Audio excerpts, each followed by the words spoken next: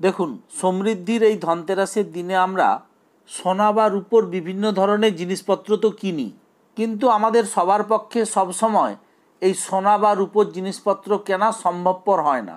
তাই আজ আমি বেশ কয়েকটি জিনিসের নাম বলব। সেগুলি আপনারা এই পবিত্র ধনতেরাসের দিনে বাজার থেকে কিনে এনে মা লক্ষ্মীর কাছে যদি নিবেদন করতে পারেন, তাহলে আপনারা দেখবেন আপনাদের আর্থিক কষ্ট যেমন লাঘব হবে, মা লক্ষ্মীর আর কুবেরজির কৃপায়, তার সাথে সাথে আপনারা যারা ব্যবসার সাথে যুক্ত আছেন, আপনাদের ব্যবসায় সাফল্য বৃদ্ধি পাবে। দেবী লক্ষ্মী এবং ভগবান বিষ্ণুর রূপ হিসাবে বিবেচনা করা হয় একাক্ষী নারকেলকে।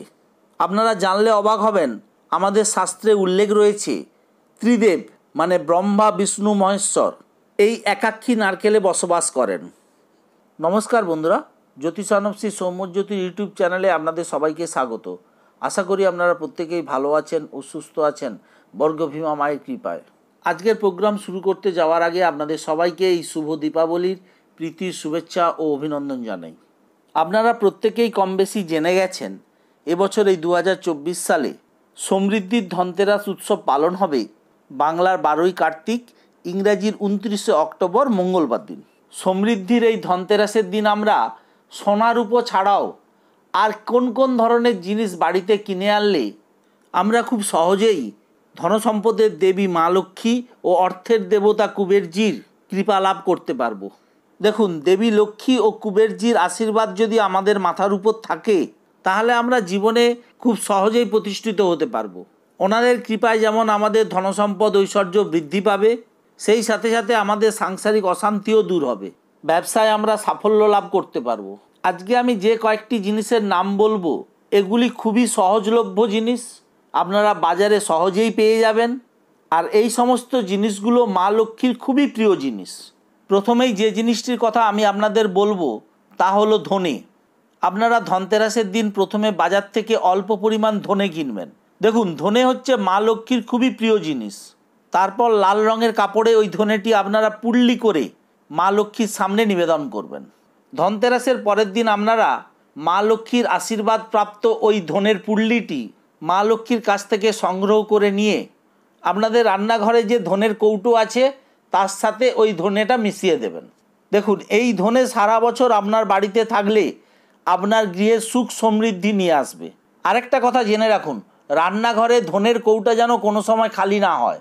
আপনারা ধনে থাকতে থাকতেই বাজার থেকে আবার অল্প কিছু ধনে এনে ওই কৌটার সাথে মিশিয়ে দেবেন। আর এখানে একটি গুরুত্বপূর্ণ কথা আমি আপনাদের বলে রাখি, যেহেতু এই ধনেটি মা লক্ষ্মীর আশীর্বাদ প্রাপ্ত, তাই এই ধনে দিয়ে কখনোই আপনারা আমিষ রান্না করবেন না। সবসময় এই ধনে ব্যবহার করবেন নিরামিষ রান্নায়। দ্বিতীয় যে জিনিসটির কথা আমি আপনাদেরকে বলব, এই পবিত্র ধনতেরাসের দিন আপনারা বাজার থেকে ষোলোটি পদ্মবীজ কিনে আনবেন। দেখুন, আপনারা সবাই জানেন মা লক্ষ্মী পদ্মের উপর বসে থাকেন। পদ্ম ফুল মা লক্ষ্মীর খুবই প্রিয় ফুল। তাই আপনারা এই ষোলোটি পদ্মবীজ লাল রঙের কাপড়ে বেঁধে আপনারা এই দিন মা লক্ষ্মীর চরণে নিবেদন করবেন। এতে দেখবেন মা লক্ষ্মী প্রচণ্ডভাবে আপনার উপর প্রসন্ন হবেন। ধনতেরাসের পরের দিন আপনারা ওই লাল কাপড়ে বাঁধা ষোলোটি পদ্মবীজ সংগ্রহ করে নিয়ে আপনাদের আলমারির ক্যাশ বাক্সে বা ব্যবসা স্থানের ক্যাশ বাক্সে রেখে দেবেন। দেখুন, ওই ষোলোটি পদ্মবীজের মধ্যে কিন্তু মা লক্ষ্মীর আশীর্বাদ রয়েছে। তাই আপনি যখনই ওই ষোলোটি পদ্মবীজ আলমারির ক্যাশবাক্সে রাখছেন, দেখবেন সবসময় মা লক্ষ্মীর আশীর্বাদ আপনার আলমারিতে থাকবে। তৃতীয় যে জিনিসটির কথা আমি আপনাদেরকে বলব, তা মা লক্ষ্মীর সবচেয়ে প্রিয় জিনিস। এটি আপনার গৃহে থাকলে মা লক্ষ্মী কখনো আপনার বাড়ি ছেড়ে যাবে না। মা লক্ষ্মী চিরস্থিত হয়ে আপনার গৃহে বসবাস করবে। সেটি হচ্ছে একাক্ষী নারকেল। দেখুন, এক চোখ নারকেলকে একাক্ষী নারকেল বলে। এটি পাওয়া একটু দুষ্কর। তবে আপনারা বাজারে খোঁজ করবেন, পেয়ে যাবেন। দেখুন, এই একাক্ষী নারকেলে শিবর শক্তি, লক্ষ্মী ও ভগবান গণেশ বসবাস করেন। আপনারা জানলে অবাক হবেন, সমৃদ্ধি ও সম্পদের জন্য এটি সবচেয়ে উপকারী তন্ত্রপণ্য। এর উপকার বলে শেষ করতে পারব না, যা মা লক্ষ্মীর খুবই প্রিয় জিনিস। এই একাক্ষী নারকেল আপনার বাড়িতে থাকা মানেই হচ্ছে, আপনি সমস্ত ধরনের ধন, ঐশ্বর্য সকল প্রকার সুখ লাভ করবেন। একাঙ্ক্ষী নারকেল বাড়িতে থাকলে আপনাদের গৃহে যেমন বাস্তুদোষ দূর হবে, সেই সাথে সাথে আপনাদের গৃহে যদি কেউ কোনো খারাপ কাজ করে থাকে বা তুকতাক করে থাকে, তার প্রভাবও দূর হয়ে যাবে এই একাঙ্ক্ষী নারকেলের জন্য।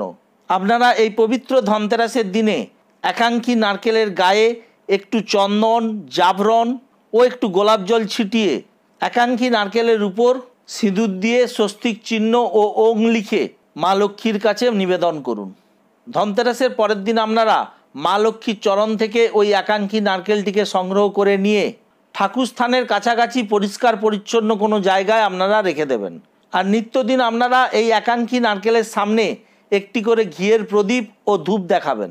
এর কারণ হচ্ছে একাঙ্কি নারকেল হচ্ছে দেবী লক্ষ্মীর স্বরূপ। একাঙ্কি নারকেলকে পুজো করার মানেই হচ্ছে দেবী লক্ষ্মীকে পুজো করা। আপনারা এবছর এই ধনতেরাসের দিন বাজার থেকে একটি একাঙ্ক্ষী নারকেল কিনে এনে মা লক্ষ্মীকে নিবেদন করুন। কি দুর্দান্ত ফলাফল পাবেন আপনারা নিজেরাও কোনোদিন ভাবতে পারবেন না। চতুর্থত যে জিনিসটির কথা আমি আপনাদেরকে বলব, যা একদমই সহজলভ্য, তা হচ্ছে লবণ। দেখুন, লবণকে দেবী লক্ষ্মীর স্বরূপা বলে মনে করা হয়।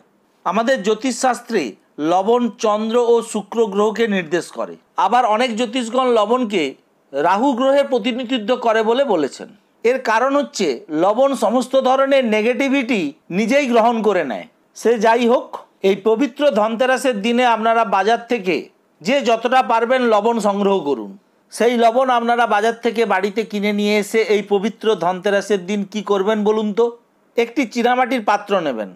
সেই চীনামাটির পাত্রে লবণ ভর্তি করে তার উপর দুটো লবঙ্গ গেঁথে দেবেন। লবণের উপর দুটো লবঙ্গ গাঁথা ওই চীনামাটির পাত্রটি আপনারা এই ধনতেরাসের দিন মা লক্ষ্মীর কাছে নিবেদন করুন। এতে দেখবেন মা লক্ষ্মী প্রচণ্ডভাবে প্রসন্ন হবেন আপনার উপর। এবার ধনতেরাসের পরের দিন আপনারা ওই লবণটি, আপনাদের রান্নাঘরে যে লবণ রয়েছে তার সাথে মিশিয়ে দেবেন। তারপর ওই লবণটি দিয়ে আপনারা রান্না করে খাবেন। দেখুন, ওই লবণের উপর মা লক্ষ্মীর আশীর্বাদ রয়েছে, মা লক্ষ্মীর কৃপা রয়েছে। তাই ওই লবণটি আপনারা যখনই রান্নায় ব্যবহার করবেন সেই রান্নাটা যেন সবসময় নিরামিষ হয়। আমিষ জাতীয় রান্নায় কখনোই ওই লবণটা আপনারা ব্যবহার করবেন না। এছাড়া আপনারা এই পবিত্র ধনতেরাসের দিন এগারোটি লক্ষ্মী কড়ি, এগারোটি নাভিশঙ্ক আর কয়েক পিস আমলকি সংগ্রহ করে আনবেন বাজার থেকে।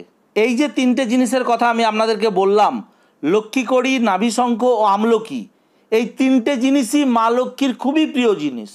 এই লক্ষ্মী কড়ি নাভিশঙ্খ আমলকি আপনারা বাজার থেকে কিনে নিয়ে এসে গঙ্গা জলে ভালো করে ধুয়ে এই দিন যদি আপনারা মা লক্ষ্মীকে নিবেদন করতে পারেন, মা লক্ষ্মী যে কি পরিমাণ প্রসন্ন হবেন আপনার উপর তা বলে বোঝাতে পারব না। দেখুন, আপনার প্রিয় জিনিস যখন আপনাকে কেউ দেবেন, আপনি যতটা খুশি হবেন, তার চেয়ে কয়েক শতগুণ বেশি খুশি হবেন দেবী মা লক্ষ্মী তার ভক্তের উপর, তার সন্তানের উপর। দেখুন, মা লক্ষ্মী অল্পতেই সন্তুষ্ট হন। তিনি খুব সহজেই প্রসন্ন হন ভক্তের উপর।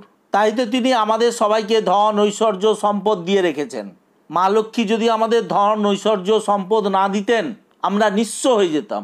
তাই পবিত্র এই ধনতেরাসের দিন আমরা মা লক্ষ্মীর প্রিয় যে জিনিসগুলোর কথা আমি বললাম, ধনে, পদ্মবীজ, একাঙ্কি নারকেল, লবণ, লক্ষ্মীকড়ি, নাভিশঙ্ক, আমলকি, এগুলি আপনারা বাজার থেকে কিনে এনে এই দিন মা লক্ষ্মী চরণে নিবেদন করুন। এগুলোর মধ্যে সবগুলোও যদি না পারেন, যতগুলো সম্ভব হয় আপনারা এই দিন বাজার থেকে কিনে এনে মা লক্ষ্মীর চরণে নিবেদন করবেন।